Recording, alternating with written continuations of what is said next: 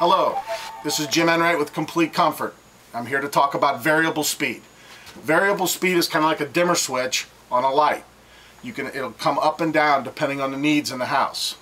The great part about uh, variable speed is that we're going to run the fan all the time, but it's going to be at a very low speed.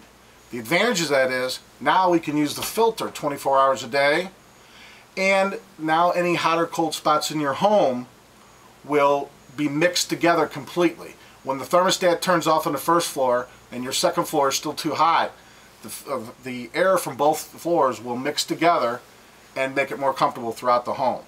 So with variable speed, we're going to be cleaning the air all the time and we're going to make your whole uh, house more comfortable. Thank you. This is Jim Enright with Complete Comfort Heating and Cooling.